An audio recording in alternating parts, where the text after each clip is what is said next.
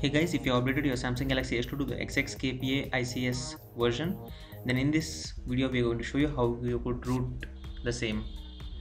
In order to get started you need to download a small package through our website that's androidadvices.com you can find the links below the video in the description. Next you need to run the odin application and also bring your phone into the downloads mode. The procedure for getting your phone into download mode is written on androidadvices.com next connect the phone.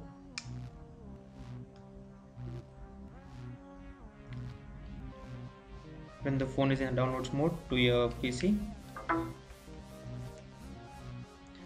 and you would find that the COM area is enabled. Next select the PDA option and select select the CF root click on start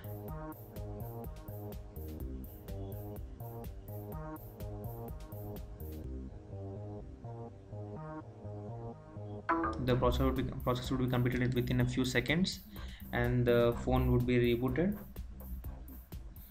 And this would complete the rooting process.